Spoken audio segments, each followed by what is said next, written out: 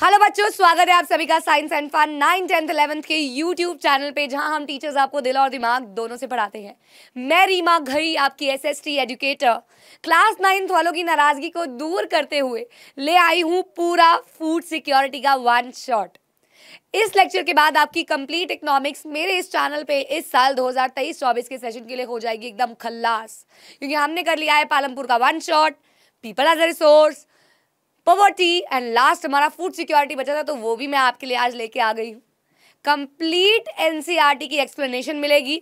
हर एक टॉपिक अच्छे से सरल भाषा में आपको समझाया जाएगा और साथ ही साथ आपको मिलेंगे इसके एनसीईआरटी क्वेश्चन भी सॉल्व इसी सेशन में तो कहीं और भटकने की आवश्यकता बिल्कुल भी नहीं पड़ने वाली है। तो बस, जल्दी से अपनी एनसीईआरटी को ले लीजिए, हाथ में और साथ में ले लीजिए एक पेंसिल क्योंकि जो भी मैं कराऊँगी वो आपको मार्क करना होगा। साथ ही साथ ये पीपीटी आपको मिल जाएगी बच्चों साइंस एंड फन की ऐप पे।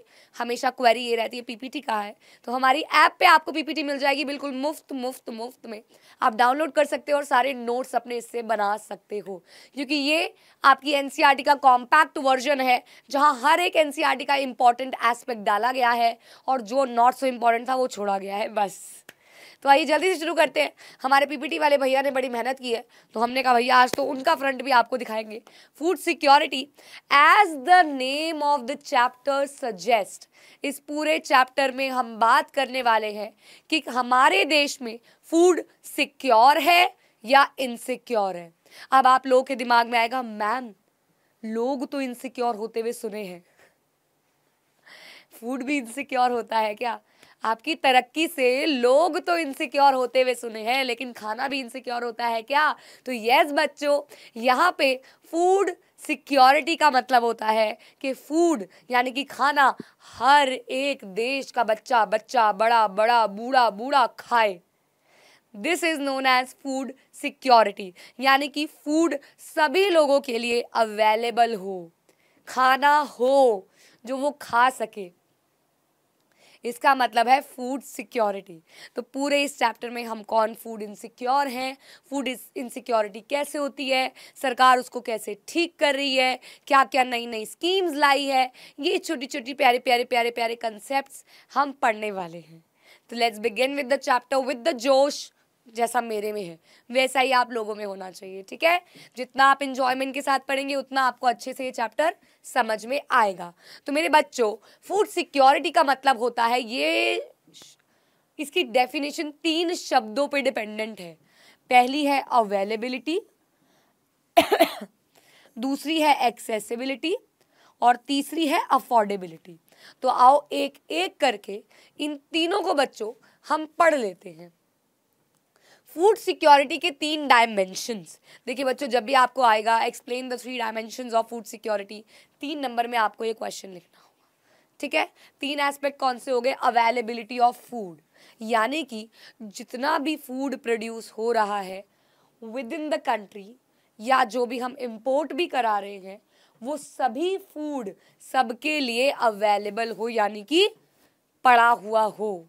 दूसरा एक्सेसिबिलिटी एक्सेसिबिलिटी का मतलब होता है कभी कभी खाना तो होता है, लेकिन हम उस तक पहुँच नहीं सकते या खाना हमारे तक पहुँच नहीं सकता। इन एक्सेसिबल होता है। तो एक्सेसिबल भी होना चाहिए खाना, बच्चों। फ़ूड हमारे लिए एक्सेसिबल भी होना चाहिए, हमारे विद इन द रीच होना चाहिए। फिर आता है अफोर्डेबिलिटी। अफोर्डेबिलिटी का मतलब होता है बच्चों कि हर एक इंडिविजुअल के पास इतना पैसा हो, इतना रुपया हो कि वो खाना, सेफ़ खाना, न्यूट्रिशियस खाना क्या कर सके? ले सके। परचेज कर सके। तो ये तीन डायमेंशंस पे डिपेंड करता है फ़ूड सिक्योरिटी ना क्या ज़रूरत है भाई फ़ूड को सिक्योर करने की? ऐसा क्या है? क्योंकि बच्चों, हमारे भारत देश में पुअरेस्ट सेक्शन जो है, वो ऑलमोस्ट फ़ूड इनसिक्योर रहते हैं। साथ ही साथ जो लोग पोवर्टी लाइन से ऊपर है वो भी कभी कभी फ़ूड इनसिक्योरिटी को फेस करते हैं। जैसे कि कोई नेचुरल कलेमिटी आ गई, अभी कोरोना वायरस आया था, इन सभी केसेस में फ़ूड इनसिक्योर हम जैसे लोग भी मिडिल क्लास पोवर्टी लाइन से ऊपर जैसे लोग भी हो जाते हैं। फ़ूड सिक्योरिटी कैसे फ़ूड सिक्योरिटी अफेक्ट होती है एक कलामिटी के टाइम पे? कलामिटी बेटा होता है कोई भी नेचुरल कलामिटी फ्लड हो गया ड्रॉट हो गया, या फिर अर्थ क्वेक हो गया, है ना? ये सारी नेचुरल कलामिटी है, जिसमें ह्यूमन का कोई रोल नहीं है। भगवान की तरफ़ से एकदम डिस्ट्रप्शन हुई और भैया कुछ ना कुछ गड़बड़ हो गई। तो लेट्स टेक एन एग्ज़ाम्पल कि एक नेचुरल कलामिटी कह लो ड्रॉट हुई, जिसकी वजह से बच्चों सारी प्रोडक्शन पे इफ़ेक्ट आएगा। अगर कोई भी नेचुरल कलामिटी होगी तो बेटा क्या होगा इन शॉर्ट आप लोगों पे क्या आएगा? प्रोडक्शन पे इम्पैक्ट आएगा सारा का अब भाई प्रोडक्शन पे इम्पैक्ट आया, इससे फ़ूड की अवेलेबिलिटी कम हो गई। जितनी होनी चाहिए लोगों के लिए, उससे कम हो गई। तो क्या करना पड़ेगा बच्चों? अब इस शॉर्टेज ऑफ़ फ़ूड की वजह से जो प्राइजेज होंगे, वो एकदम से फुर करके भागेंगे। टमाटर याद है? टमाटर का केस अभी यही एक दो महीने पहले की तो बात है। टमाटर का प्राइस इतना बढ़ गया था बच्चों कि मैकडोनल्ड्स ने भी अपने बर्गर से टमाटर को निकाल फेंका उस पर्टिकुलर टाइम ड्यूरेशन के लिए। है ना? क्योंकि इतना महँगा टमाटर हो गया। क्यों? क्योंकि पीछे से उसकी प्रोडक्शन कम हो गई थी। तो हाई प्राइसेस में कुछ लोग इसको अफोर्ड नहीं कर पाते हैं। अब ऐसी सिचुएशन जो अराइज होती है, अगर ऐसी कलेमिटी बहुत समय तक रह जाए ओवर अ लॉन्ग पीरियड तो क्या हो जाएगा? इससे सिचुएशन आ जाएगी स्टारवेशन की। Mamma I am starving give me something to eat starving मतलब बहुत भूख लग रही है। मुझे तो ये पढ़ाते हुए भूख लग गई। Yummy yummy momos yummy yummy chole bhature दिमाग में आ रहे हैं। है ना? क्या क्या पसंद है आप लोगों को? आपका फेवरेट फ़ूड क्या है? बताइए ज़रा कमेंट्स में। आपको क्या क्या पसंद है भैया? मुझे तो अभी छोले भटूरे याद आ रहे हैं। मसाला डोसा याद आ रहा है। आपको एकदम से फ़ूड के बारे में सुनते ही क्या याद आ जाता है? So a massive starvation might take a turn of famine और अगर बहुत ज़्यादा ही भुखमरी छा गई तो इससे क्या हो जाएगा? फेमाइन तो बच्चों फेमाइन क्या होता है? मैं आपके लिए डेफिनेशन ऑब्वियसली लेके आई हूँ। फेमाइन एक ऐसा टाइम पीरियड है जहाँ बहुत मौतें हो जाती हैं because of starvation food insecurity खराब खाना। स्टारवेशन की वजह से लोग वीक होने लगते हैं, हड्डियाँ दिखने लगती हैं। तो ये है फेमाइन ये बच्चों एक, क्या कहते हैं पिक्चर है आपकी एनसीईआरटी की, जिसमें आपको दिखाया गया बंगाल फेमाइन के दौरान एक फैमिली अपना विलेज छोड़ के जा रही है। बेटा Bengal famine most devastating famine in 1943 क्योंकि इस फेमाइन के बाद 30 लाख लोगों की मृत्यु हो गई थी बच्चों। 30 लाख पीपल मर गए थे इस फेमाइन में एंड यू वोंट बिलीव इसका रीजन पता क्या था उन डायमेंशन में से? एक्सेसिबिलिटी एक्सेसिबिलिटी नहीं था उनके पास खाना। तो एक्सेसिबिलिटी की वजह से यहाँ पे फ़ूड इनसिक्योरिटी हो गई थी। ठीक है बच्चों?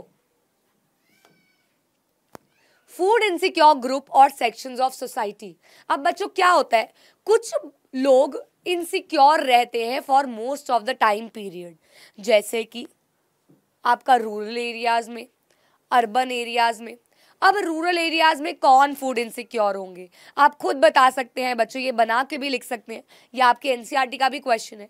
आप बना के भी लिख सकते हैं कि रूरल एरियाज़ में कौन हो गए? लैंडलेस लेबर्स हो गए बच्चों पेजेंट्स हो गए, जो छोटे मोटे काम कर रहे हैं बार्बर वॉशमैन ये सारे लोग हो गए सेल्फ एम्प्लॉयड वर्कर्स हो गए, ये फ़ूड इनसिक्योर हो जाते हैं।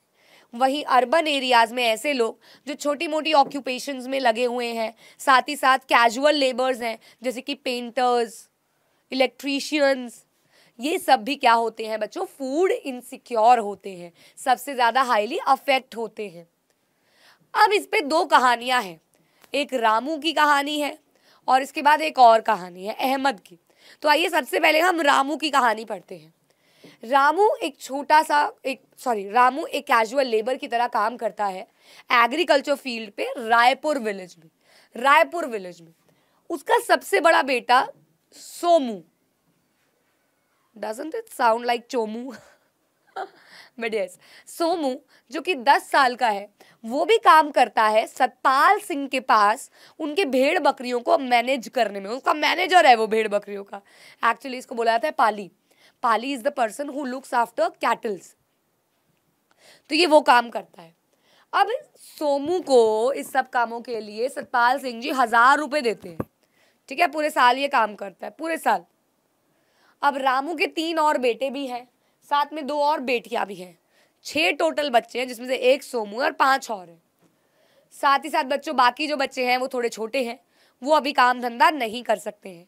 उनकी बीवी है, जिनका नाम है सुनहरी। वाह वाह वाह वाह। सुनहरी बीवी। सुनहरी बीवी भी एक पार्ट टाइम जॉब करती है हाउस क्लीनर की तरह। वहाँ कैटल का काव डंग होता है ना, जैसे गोबर वो आ, संभालती है संभालती मतलब साफ़ वाफ करती है। अब इस काम के बदले उनको मिलता है आधा लीटर दूध और साथ में कुछ पकी हुई सब्ज़ियाँ और कुछ कच्ची सब्ज़ियाँ। इसके साथ साथ जब भी बिज़ी डेज़ होते हैं तब वो अपने बीवी अपने पति का भी हाथ बटाती है फ़ील्ड पे। ठीक है? फ़ार्मिंग फ़ील्ड पे। अब एग्रीकल्चर तो एक सीजनल एक्टिविटी है। तो रामू भी तो कुछ महीने के लिए खाली बैठता होगा। उन खाली महीनों में रामू क्या करता है? रामू छोटे मोटे जॉब ढूँढने लग जाता है। अब जब उसको जॉब मिलती है तो कभी तो भैया मिल जाती है और कभी कभी वो खाली बैठता है। कभी कभी जॉब के बदले उसको पैसा मिलता है कभी कभी कोई सामान मिलता है। तो बेसिकली उन दिन जिन दिन उसको काम नहीं मिलता है, वो रहता है फ़ूड इनसिक्योर उसकी फैमिली को डिफ़िकल्टीज फेस करनी पड़ती हैं, उसके बच्चों को भूखे पेट सोना पड़ता है तो ये ये प्रॉब्लम्स रामू जी फेस करते हैं और ये फ़ूड इनसिक्योर है उन चार महीनों में जब इनके पास काम नहीं है। सीजनल एक्टिविटी है ना एग्रीकल्चर जब इनके पास काम नहीं है। तो ये रामू की कहानी थी। मैम इससे क्या सीखे, अभी बताएँगे। लेकिन आप याद रखना कि रामू जी उन दिनों खाली बैठते थे जिन दिनों उनके पास काम नहीं होता अब आए अहमद जी। अहमद जी क्या है? ये एक रिक्शा चलाने वाले बंदे हैं बेंगलोर में। बेंगलुरु बोलते हैं जिसे।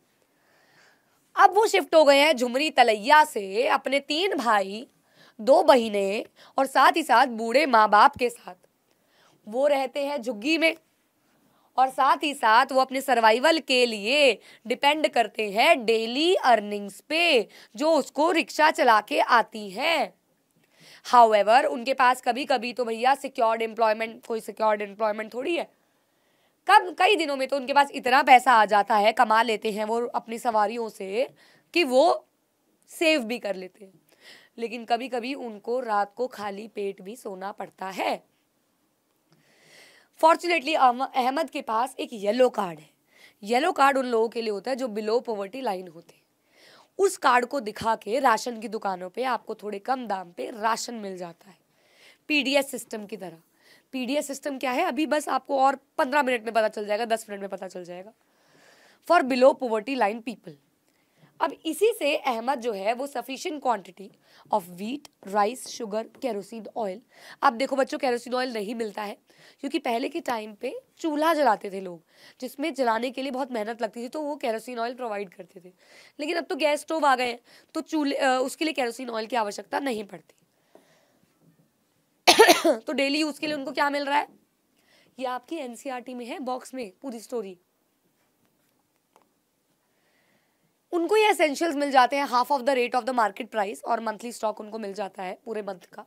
इन दिस वे अहमद जो है वो एटलीस्ट अपना सर्वाइवल कर लेता है बहुत ही कम अर्निंग्स के साथ भी। तो बच्चों ये दो कहानी क्या दिखाती हैं? हंगर की सिचुएशन दिखाती है। अभी आगे आएगा इसके बारे में। हंगर की सिचुएशन बताती है। अगर आप देखो जो वो Chomu I I mean mean, Somu वाली कहानी थी रामू वाली। वहाँ पे वो फेस कर रहे थे सीजनल हंगर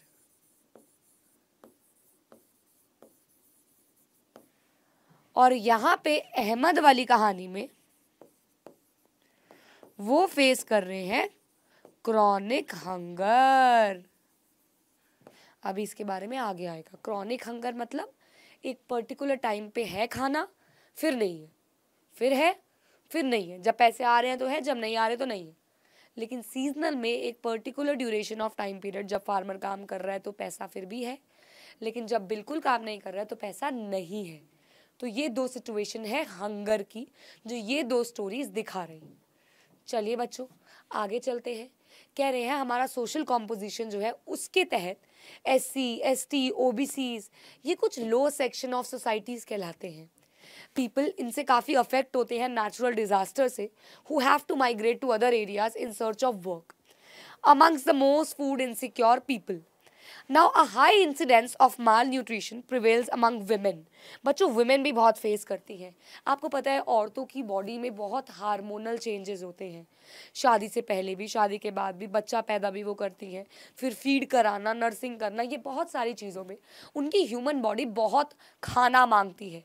लेकिन बहुत सारी ऐसी फैमिलीज़ हैं जो औरतों को दूध फ्रूट्स ड्राई फ्रूट्स ये बेसिक नेसेसिटीज़ की चीज़ें भी प्रोवाइड नहीं करते हैं।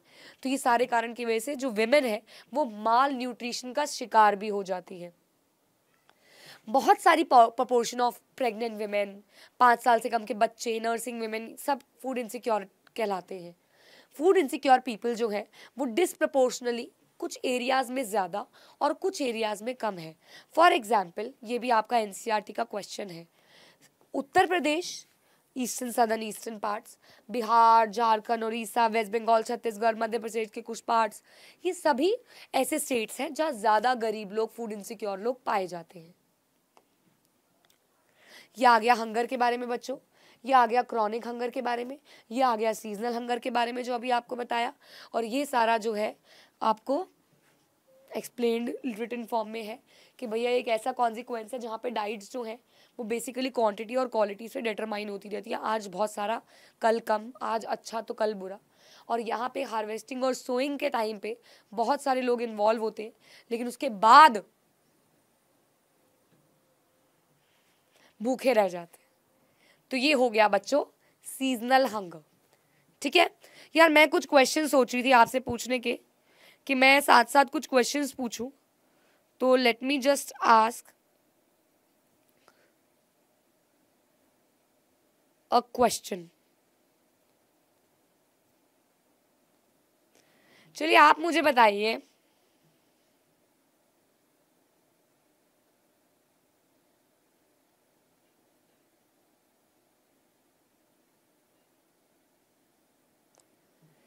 कमेंट्स में जल्दी से बताइए तीन ऐसे फैक्टर्स जो अफेक्ट करते हैं फ़ूड इनसिक्योरिटी को।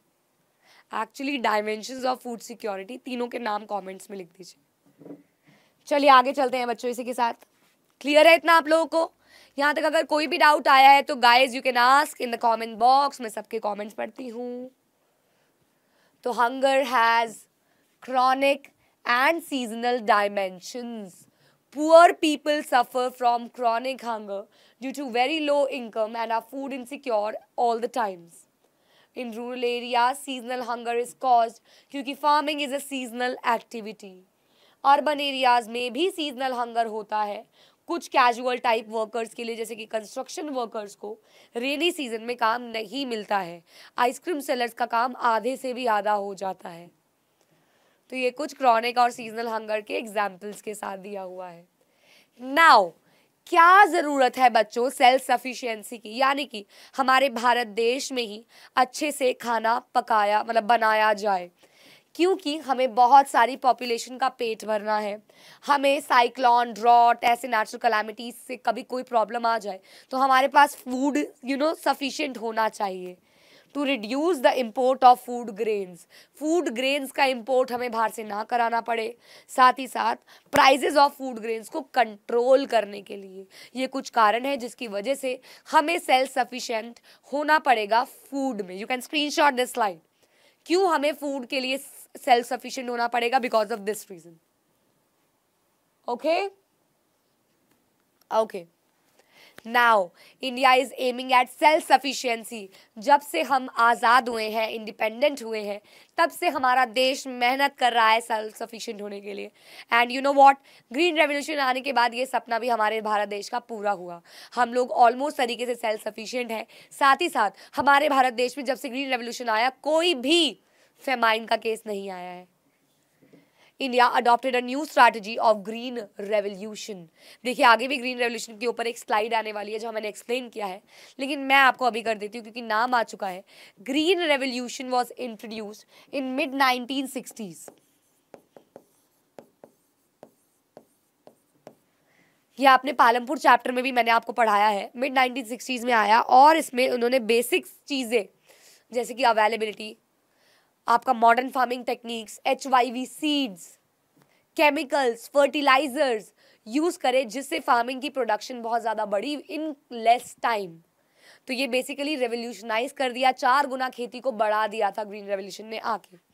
उस टाइम की प्राइम मिनिस्टर इंदिरा गांधी जी ने ऑफिशियली रिकॉर्ड किया था ग्रीन रेवोल्यूशन ने क्या क्या तरक्कियाँ की और इसी से actually green revolution is associated with the production of wheat and rice तो इसको वीट रेवोल्यूशन का भी नाम दिया गया जुलाई 1968 में।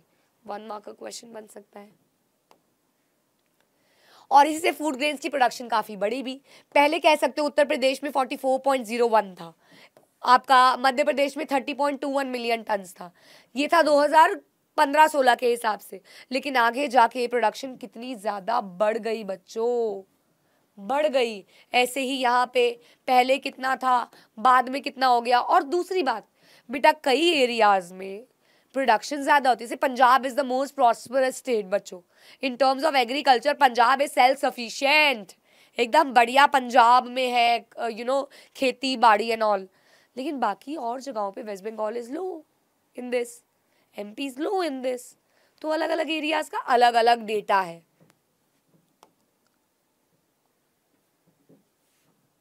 ठीक है बच्चों? चलिए, चलते हैं हम आगे फ़ूड सिक्योरिटी इन इंडिया पे। तो फ़ूड सिक्योरिटी कहती है बच्चों कि India has become self sufficient in food grains तीस सालों से ही हमारा भारत देश फ़ूड सिक्योर है। क्योंकि वेराइटी ऑफ़ क्रॉप्स जो है वो ऑल ओवर द कंट्री में उगाई जाती है। अवेलेबिलिटी ऑफ़ फ़ूड ग्रेन्स बल्कि जब एडवर्स वेदर कंडीशंस या कुछ भी होता है, तब भी हमारी सरकार इंश्योर करती है कि खाने की कोई भी कमी ना हो। अब ये सिस्टम दो बेसिस पे डिपेंड करता है बच्चों। एक है बफर स्टॉक और दूसरा है पब्लिक डिस्ट्रीब्यूशन सिस्टम अब मैं आपको एक कहानी सुनाऊँगी प्रॉपर पूरा एक चार्ट बना के। वो आपको मैं कहानी समझाऊँगी जिससे आपको आगे आने वाली टर्म्स बिल्कुल अच्छे से बच्चों, अच्छे से याद हो जाएँगी। ये मेरा वादा है, वादा। आओ एक कहानी लेके चलते हैं। देखो एक्चुअली क्या होता है पीडीएस सिस्टम में? मैं वो आपको बताने जा रही हूँ।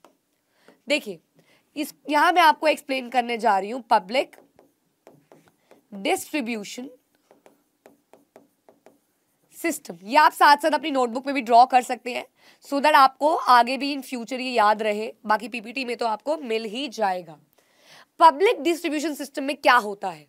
देखिए बच्चों, क्या होता है? एक फ़ील्ड होती है फार्मर की, है ना? ये एक फ़ार्मिंग फ़ील्ड है, ठीक है? ये एक फ़ार्मिंग फ़ील्ड है।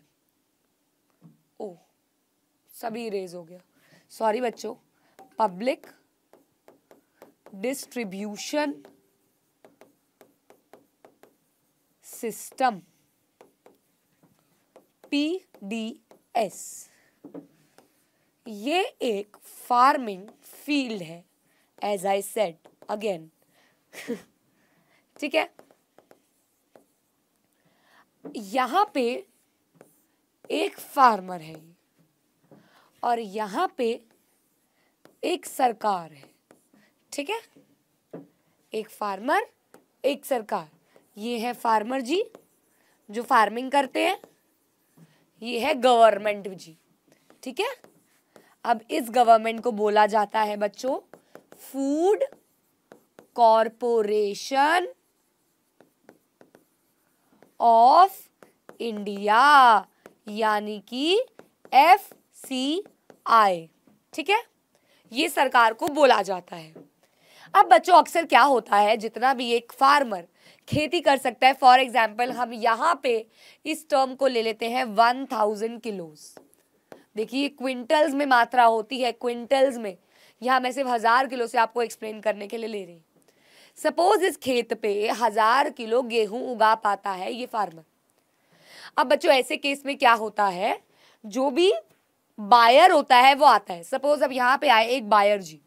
ठीक है, यहाँ से उठ के आ रहे हैं एक बायर जी। बायर जी कहते हैं, अरे फार्मर, क्या हाल चाल कितना उगा लेगा इस बार? ला मुझे दे दे सारा। वो कहेगा, साहब जी, मैं उगा लूँगा साढ़े नौ सौ किलो। आप कहोगे, मैम, पचास किलो क्यों नहीं बोला? तो पचास किलो इसलिए नहीं बोला, उनको डाउट है कि कहीं कहीं कीड़ा ना लग जाए, कोई जंगली जानवर ना खा जाए, कुछ फ़सल में प्रॉब्लम ना आ जाए तो भैया सेफर साइड में ज़्यादा का ले लूँगा तो कैसे दे पाऊँगा? वो एडवांस दे के जाते हैं ना। तो मैं थोड़ा कम का ही ले लेता हूँ। हर बार actually average on an average इतना लॉस हो ही जाता है। खराब हो ही जाता है। तो बायर कहता है, ठीक है, पूरा साढ़े नौ सौ किलो मैं लेके जा रहा हूँ और इनकी डील जो है वो हो जाती है डन। फार्मर पाता है पंगड़ा, खुश हो जाता है फार्मर, एकदम हैप्पी। घर जाता है, बीवी के साथ बढ़िया आराम से खाना खाता है, बच्चों को खुशखबरी सुनाता है कि अब बच्चों, पूरा बिक गया मेरा फ़ार्मिंग जितनी भी मैं करता हूँ, खुश है परिवार। हार्वेस्टिंग का टाइम आता है और हार्वेस्टिंग का टाइम आते आते इस बार उसकी हज़ार की हज़ार किलो खेती एकदम बढ़िया होती। अब फार्मर को तो ऐसे हैप्पी रहना चाहिए, है ना भाई? लेकिन क्या होता है बच्चों? फार्मर हो जाता है सैड वो सैड हो जाता है। वो कहते हैं, अरे यार, काश मैं पूरे हज़ार किलो का ही ऑर्डर ले लेता तो मुझे लॉस ना होता। वो इस दुख में होता है। तो बस इस दुखी फार्मर को वापस से हैप्पी करने के लिए कौन आता है इसके पास बच्चों? हाथ थामने आती है सरकार। सरकार कहती है knock knock farmer knock knock farmer क्या तुम्हारे पास कुछ भी सरप्लस बचा है क्या? सरप्लस का मतलब एक्स्ट्रा कुछ बचा है क्या? कुछ एक्स्ट्रा बचा है? तो फार्मर दोबारा से हो जाता है बच्चों हैप्पी कहता है, बिल्कुल बचा है farm government I have fifty के वो कहते हैं, ठीक है, तुम मुझे ये पचास किलो दे दो minimum support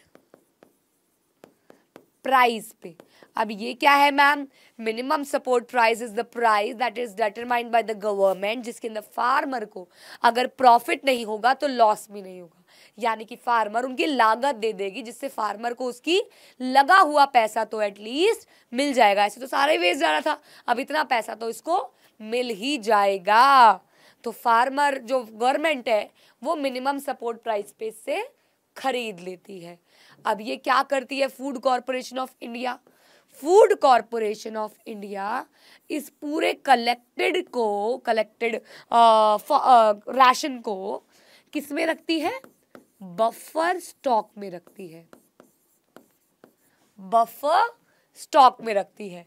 to be continued में आता है बच्चों, ये जो बफर स्टॉक है, ये जो बफर स्टॉक है, यहाँ बेसिकली ये एक गोडाउन है, जहाँ प्रॉपर कंडीशंस के साथ सारा खाना, गेहूँ, चावल, जो भी इकट्ठा होता है, चीनी, वो रखा जाता है। अब ये बफर स्टॉक से खाना जाता है। राशन की दुकानों पर। बच्चों, इन राशन की दुकानों का नाम होता है फेयर प्राइस शॉप जिसे प्यार से हम क्या बोलते हैं? Ration shop. ठीक है बच्चों? तो इस फेयर प्राइस शॉप में ये बफर स्टॉक धीरे धीरे करके जाता है। इस भेजने की प्रोसेस को बोलते हैं पब्लिक एक्चुअली इस पूरे को ही बोलते हैं डिस्ट्रीब्यूशन सिस्टम सिस्टम अब बच्चों, ये जो आपका प्राइ फेयर प्राइस शॉप है, ये इशू प्राइस इशू प्राइस मतलब जिस पे आप बेच रहे हो इशू प्राइस पे पुअर पीपल को क्या देता है? गेहूँ, चावल, चीनी, दो रुपए, तीन रुपए, ऐसे किलो पे। आप गेहूँ लेके जाओ, धो, धूप में सुखाओ, उसको पिसवाओ, वो आपको दस पंद्रह रुपए किलो पड़ेगी, मार्केट रेट है forty forty five rupees fifty rupees per K G आटे का। तो इतना फ़र्क पड़ जाएगा। ठीक है? तो ये पूरा का पूरा सिस्टम ये लो मैंने हटा दिया। अपना हाथ, तुम एक बार स्क्रीनशॉट ले लो, ताकि आपको याद रहे ये कहानी कि फार्मर बार बार हैप्पी हो रहा था बार बार सैड हो रहा था बार बार उसको खुशी गम दिखा रहा था अपने को ठीक है? तो ये पूरा सिचुएशन है और इसी के बारे में हम आगे एक एक करके पढ़ने वाले हैं। और पेपर में आपके एक्चुअली एनसीईआरटी में नोट लिखना भी है। Minimum support price ration shop सब के बारे में मैंने यहाँ पे लिखा है। तो बफर स्टॉक क्या हो गया? फ़ूड कॉरपोरेशन ऑफ़ इंडिया जिसके अंदर क्या रखती है? सारा स्टॉक इकट्ठा करके रखती है। मिनिमम सपोर्ट प्राइस क्या हो गया? ऐसा प्राइस जो इशू किया जाता है जिसमें फार्मर को ना प्रॉफिट हो तो ना लॉस हो। इशू प्राइस क्या हो गया? ये ऐसा प्राइस जिसके ऊपर सरकार वो इकट्ठा हुआ हुआ राशन बेचती है, कम दामों पे बेचती है। ठीक है? अगला राशनिंग राशनिंग का मतलब है, एक पुराने समय से ग्रीन रेवोल्यूशन के टाइम से हमने ये सीख लिया कि कैसे राशनिंग करनी है फ़ूड प्रोडक्ट्स की। कौन सा प्रोडक्ट एक्सेस में अवेलेबल है तो उसकी अवेलेबिलिटी ज़्यादा रखनी है। अगर कोई कम अवेलेबल है तो उसके प्राइस को बढ़ा के उसको रोक देना है। ये सारी चीज़ें हमने धीरे धीरे धीरे धीरे हमारे देश में सीख ली है। नाउ अब इस सब के लिए तीन और प्रोग्राम्स लाए गए। सबसे पहला पब्लिक डिस्ट्रीब्यूशन सिस्टम जिसकी पूरी कहानी मैंने आपको पिछले दो स्लाइड्स में समझाई। फिर आया इंटीग्रेटेड चाइल्ड डेवलपमेंट स्कीम्स जिसके अंदर हम बच्चों के लिए न्यूट्रिशनल वैल्यू कैसे इंक्रीज करें आएगा। तीसरा आता है फ़ूड फॉर वर्क प्रोग्राम खाने के बदले मतलब काम के बदले खाना मिलेगा। ये हमने पोवर्टी वाले चैप्टर में भी डिस्कस किया था। काम के बदले खाना मिलेगा। तो आइए बात करते हैं पब्लिक डिस्ट्रीब्यूशन सिस्टम की। वो चार्ट के थ्रू था, ये लिखाई के थ्रू है। तो public distribution system refers to a system through which the food procured by FCI is distributed among the poor through government regulated ration की दुकानें राशन कार्ड दिखाना है और राशन ले जाना है फेयर प्राइस शॉप बेटा जी there are about 5.5 lakh ration shop over the country जिसे फेयर प्राइस शॉप भी कहा जाता है जहाँ फ़ूड ग्रेन का स्टॉक शुगर राइस वीट रखे जाते हैं और बहुत ही कम प्राइस पे मार्केट प्राइस से कम प्राइस पे बेचे भी जाते हैं। Now kind of ration cards तीन तरीके के राशन कार्ड्स होते हैं बच्चों। एक होता है अंत्योदय कार्ड जो पुअरेस्ट ऑफ़ पुअर के लिए होता है, सबसे सबसे ज़्यादा पुअर के लिए। फिर आता है बच्चों बीपीएल कार्ड यानी कि बिलो पोवर्टी लाइन वालों के लिए कार्ड और फिर आता है बच्चों एपीएल कार्ड यानी कि अबव पोवर्टी लाइन वालों के लिए, जो पोवर्टी लाइन से ऊपर है जो पॉवर्टी लाइन के नीचे है और जो बहुत ही नीचे है। तो ये तीन कार्ड्स हो गए अलग अलग लोगों के लिए। सुंदर है ना? लोग खींच लो फ़ोटो चलिए, अब हम बात करते हैं नेशनल फ़ूड सिक्योरिटी एक्ट के बारे में। बच्चों, ये लाई गई 2013 में और इसके अंदर कोशिश की गई कि जितना भी फ़ूड हम प्रोक्योर कर रहे हैं, उसका 75 परसेंट रूरल एरिया में डिस्ट्रीब्यूट किया जाए। एंड 50 परसेंट अर्बन पॉपुलेशन जो गरीब है, उनको भी बांटा जाए। तो बेसिकली जो इकट्ठा हुआ है, वो बांट दिया जाए। ग्रीन रेवोल्यूशन मैंने कहा ही था, आगे एक स्लाइड आएगी। तो ग्रीन रेवोल्यूशन बेसिकली एक ऐसा प्रोसेस है, जिसके अंदर high yield variety seeds modern farming methods techniques use की गई फ़ूड को सिक्योर करने के लिए। National sample survey organisation N S S O ये क्या है बच्चों? ये एक ऐसी ऑर्गेनाइजेशन है, जो क्या करती है? Has the responsibility to collect data जो हमारे देश में सेंसेस होता है, आप आगे पॉपुलेशन चैप्टर में पढ़ोगे, वो भी यही करती है एन एस एस ओ सारा data literacy rate education health everything वो लोग ही एकत्रित करते हैं डेटा के थ्रू इकोनॉमिक सर्वे के थ्रू वो है नेशनल सैंपल सर्वे ऑर्गेनाइजेशन चलिए, अब हम डिस्कस करते हैं current data current status of the public distribution system तो बच्चों पब्लिक डिस्ट्रीब्यूशन सिस्टम एक मोस्ट इंपॉर्टेंट स्टेप है जो सरकार के द्वारा लिया गया। ओवर द ईयर्स ये पॉलिसी काफ़ी ज़्यादा रिवाइज भी की गई ताकि इसको और एफिशिएंट और और टारगेटेड भी बनाया जाए। किसने किसने देखी है राशन की दुकानें? नॉट किराने वाला, राशन वाला, जो एक्चुअली राशन कार्ड दिखा के राशन देते हैं। गेहूँ, चावल, चीनी किस किस के घर के पास है? मेरे घर के पास भी है। जून 1997 से एक रिन्यू अटेम्प्ट हुआ, जिसको बोला गया टारगेटेड पब्लिक डिस्ट्रीब्यूशन सिस्टम ये इंट्रोड्यूस किया गया, जहाँ पुअर सेक्शन को टारगेट किया गया। एक है revamped public distribution system RPDS एक है TPDS targeted public distribution system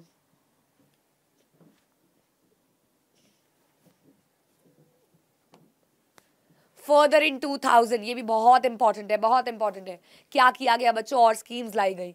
Antyodaya Anna Yojana A A Y and Annapurna scheme scheme A P S इनका मेन टारगेट क्या था? Poorest of the poor and endangered senior citizen यानी कि A P S is focusing on in senior citizen and A A Y is focusing on poorest of the poor however the public distribution system ने बहुत सारे criticism face किए हैं। Example के लिए hunger जो अभी भी देखा जाता है, क्योंकि फ़ूड कॉरपोरेशन ऑफ़ इंडिया के गोडाउन्स बिल्कुल भी अच्छे नहीं हैं। वहाँ रैट्स आ जाते हैं, वहाँ कंडीशन अच्छी नहीं है, सड़ जाता है राशन पड़ा हुआ, जिसकी वजह से लोगों तक नहीं पहुँच पाता है। साथ ही साथ बेटा, बहुत सारे ऐसे राशन की दुकानों के ओनर्स भी हैं जो घपले करते हैं। यानी कि टाइम पे दुकानें नहीं खोलते हैं बट लोगों से ज़बरदस्ती या गलत यू नो उनको दे रहे हैं पाँच किलो और दस किलो पे ठप्पा लगवा लेते हैं सरकार को दिखाने के लिए कि हमने बेच दिया। तो बहुत माल प्रैक्टिस एल्डल्टरेशन सब करते हैं वो। नाउ अंत्योदय अन्न योजना। अंत्योदय अन्न योजना लॉन्च की गई दिसंबर 2000 में।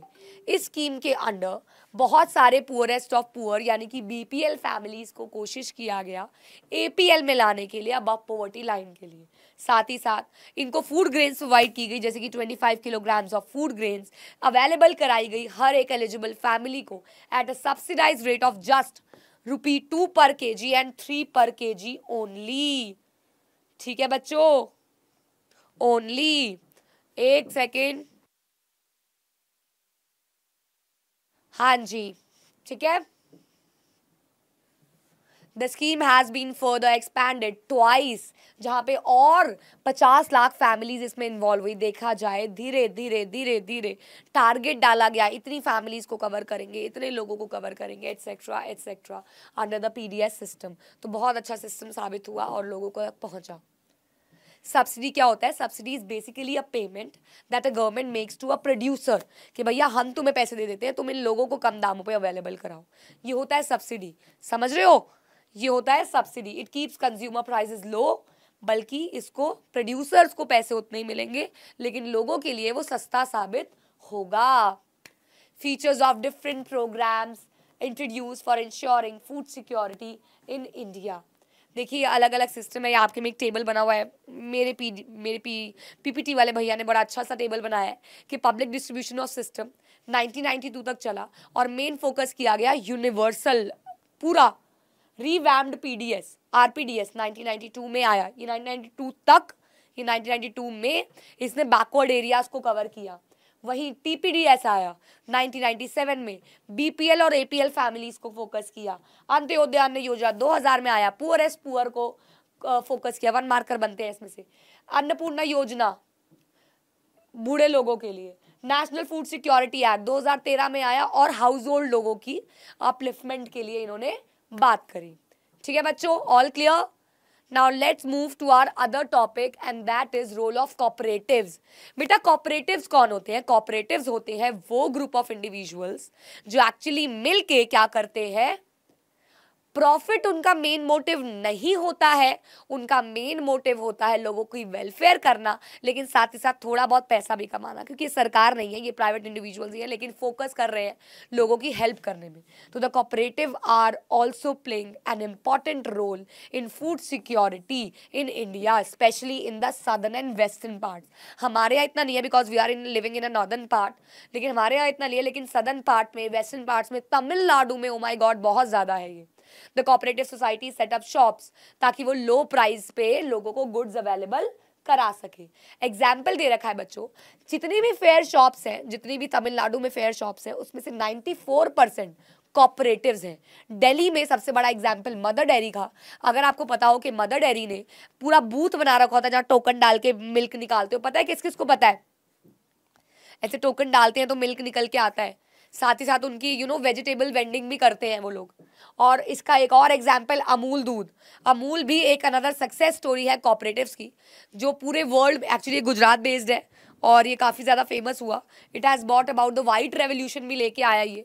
एंड uh, यही सारे एग्ज़ाम्पल है कॉपरेटिव्स के। तो तमिलनाडु में हो गया और एक ए था। ए के बारे में आगे लिखा ये रहा। महाराष्ट्र में अकेडमी ऑफ़ डेवलपमेंट की साइंस ये भी एक ऐसी इंस्टीट्यूशन है जिसने ग्रेनरीज अवेलेबल कराई। इन्होंने खोला ग्रेन बैंक्स अलग अलग रीजन में। और एनजीओज में भी ये सप्लाई करते थे ताकि फ़ूड सिक्योर रहे। Grain banks are now slowly taking shape in different parts of the Maharashtra also इनका एफर्ट जो था ग्रेन बैंक्स लाने का मेन मोटिव क्या था कि ये एन और ये जितने भी यू नो लो क्लास जहाँ पे एक्चुअली रिक्वायरमेंट ऑर्फनेजेस वहाँ पे इनकी सप्लाई जा सके और इनको भी फ़ूड सिक्योरिटी करवाई जा सके। तो this was your complete food security का चैप्टर मेरे बच्चों। हमने देखो फोर्टी मिनट्स में अराउंड ये ख़त्म कर लिया है पूरा का पूरा चैप्टर अब बचे हैं इसके एनसीईआरटी क्वेश्चंस ये छोटू सा ही चैप्टर है। ये बड़ा चैप्टर नहीं है। ये मैं अपने ऑफलाइन में दो क्लास में कराती हूँ क्योंकि वहाँ क्वेश्चन आंसर्स आगे पीछे हो रहे होते हैं डिस्कशन हो रहा होता है, बीच बीच में यू नो सवाल हो रहे होते हैं डाउट्स हो रहे होते हैं। लेकिन यहाँ पे तो आप मेरे सामने नहीं हो। तो इसलिए आप मेरे से डाउट्स कॉमेंट्स में पूछिएगा ओके चलिए। एनसीईआरटी क्वेश्चंस e की बात कर लेते हैं। सारे के सारे क्वेश्चंस हमने ऑलरेडी डिस्कस कर लिए हैं बट क्विकली एक बार देख लेंगे। How is food security ensured in India तो दो, देखो, पहले तो तीन वही हो गए। अवेलेबिलिटी एक्सेसिबिलिटी अफोर्डेबिलिटी और अगर पाँच नंबर का आ जाए तो आप बफर स्टॉक और पीडीएस सिस्टम जो उन्होंने यू नो टेक्निक्स यूज़ की थी, वो भी आप लिख सकते हो। फिर आएगा कौन से लोग ज़्यादा फ़ूड इनसिक्योर है भैया? है ना भाई? कौन से लोग हैं? तो रूरल और अर्बन याद है वो स्लाइड रूरल एरियाज़ में कौन? अर्बन एरियाज़ में कौन? आप वो भी लिख सकते हो। साथ ही साथ S C S T O B C के बारे में भी लिख सकते हो। कौन से स्टेट्स हैं? ये भी मैंने आपको बताया था यूपी वेस्ट बंगाल कुछ पार्ट्स ऑफ़ मध्य प्रदेश, छत्तीसगढ़। ठीक है ना? क्या आप बिलीव करते हो ग्रीन रेवोल्यूशन ने हमारे इंडिया को सेल्फ सफिशिएंट बनाया है? तो यस बच्चों पोस्ट इंडिपेंडेंस जब हमने ग्रीन रेवोल्यूशन का इस्तेमाल किया तो हमारे देश की पॉपुलेशन को देखते हुए प्रोडक्शन जो है वो चार गुना बढ़ गई। साथ ही साथ हमने बेटर टेक्निक्स टेक्नोलॉजीज़ और आपका क्या कहते हैं उसको केमिकल फर्टिलाइजर्स अच्छी अच्छी चीज़ें यूज़ करी, जिससे हमारा प्रोडक्शन काफ़ी ज़्यादा इम्प्रूव हुई और फ़ूड अवेलेबल हो गया। बहुत सारा सेक्शन ऐसा है जो सिल विदाउट फ़ूड है। क्यों? क्योंकि आपको बताया गया है कि बहुत सारे ऐसे लोग हैं जो क्रॉनिक और सीजनल हंगर फेस करते हैं जहाँ पे आप एग्ज़ाम्पल भी दे सकते हो। Uh, अगर कोई डिजास्टर आ जाए तो कैसे होगा बच्चों? ये आपको क्लैमिटी वाले पोर्शन में मैंने आपको बताया कि शॉर्टेज ऑफ़ फ़ूड हो जाती है जिससे फ़ूड का प्राइस राइज हो जाता है। इसलिए सेल्फ सफिशिएंसी बहुत बहुत बहुत आवश्यक है कि हो। फ़ूड का यू you नो know, वो याद है आपने कहानी सुनी भी है? कौन सी थी? बहुत तूफ़ान आता है चीटियाँ खाना सिक्योर कर रही होती हैं और बंदर कहता है तुम पागल हो गई हो तुम क्यों कर रही हो खाना सिक्योर वो कहती है कि आ, कोई कलामिटी आने वाली है। तो बंदर कहता है तुम करो खाना इकट्ठा मैं नहीं कर रहा। और जब आती है कलामिटी वो इतना भूखा मर रहा होता है फिर वो उनकी हेल्प करती है। तो फ़ूड हमेशा अवेलेबल होना चाहिए स्टोर होना चाहिए। जब कोरोना आने वाला था तब भी लोगों ने राशन भर लिया था अपने घर में कि कभी कभी राशन के लिए ही हम भूखे ना रह जाएँ। Differentiate between seasonal and chronic hunger आप बताएँगे? टेब्यूलर फॉर्म में भी आप इसको कर सकते हैं। uh, हमारी गवर्नमेंट ने क्या किया है फ़ूड सिक्योरिटी के लिए? तो बेटा हमारी गवर्नमेंट ने स्कीम्स लेके आई हैं। अंत्योदय अन्न योजना लेके आई है पीडीएस सिस्टम लेके आई है अन्नपूर्णा स्कीम लेके आई है। बफर स्टॉक क्या है? क्यों क्रिएट किया गया है? तो बफर स्टॉक क्रिएट किया गया है उन सेक्शन ऑफ़ सोसाइटीज़ को फ़ूड अवेलेबल कराने के लिए जो एक्चुअली अफोर्ड नहीं कर सकते हैं। तो फ़ूड कॉरपोरेशन ने इसका जिम्मा उठाया है। मिनिमम सपोर्ट प्राइस के बारे में आपको यहाँ पे बताना है। इशू प्राइस जिस पे आप अच्छा एक सेकेंड। मैं एक करके रुक जाऊँ क्या तुम लोग कहोगे कहीं कि मैम हमें नोट नहीं करने दिया? ये लो भाई, लेते जाओ।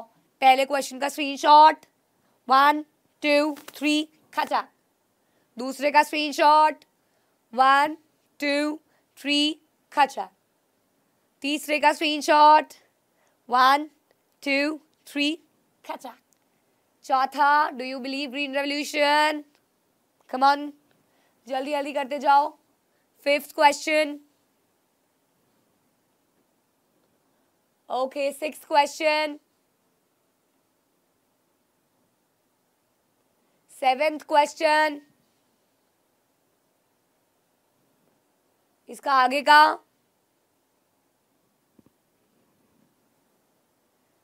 एट क्वेश्चन कर लो। नाइन्थ। नाइन्थ नहीं सॉरी उसी के आगे का। Ninth.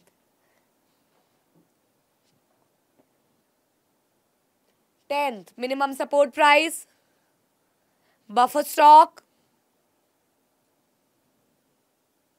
issue price fair price shops सबके ऊपर नोट लिखने वाला क्वेश्चन है ये। क्या प्रॉब्लम्स है जो राशन शॉप में आती हैं? स्क्रीनशॉट ले लो, मैं समझा रही हूँ। राशन शॉप को फ्राई, फेयर प्राइस शॉप भी कहा जाता है, जहाँ पे बेसिक सामान रखा जाता है। एंड ये आइटम्स जो हैं, बहुत लो रेट पे अवेलेबल कराए जाते हैं। लेकिन इनकी क्वालिटी उतनी अच्छी नहीं होती है। राशन शॉप माल प्रैक्टिसेस करते हैं। ये लोग कभी कभी रेगुलरली शॉप ओपन नहीं करते हैं। ऑल्सो ये लोग रॉन्ग एंट्रीज करते हैं। कितना कितने लोगों ने लिया। Note on the role of cooperative screen shot government के साथ साथ कॉपरेटिव भी बहुत अच्छा रोल प्ले कर रहे हैं। और अभी जो मैंने आपको पूरा समझाया अमूल वाला, मदर डेयरी वाला, तमिलनाडु वाला एडीएस वाला, वो सारा इसमें आएगा। स्क्रीनशॉट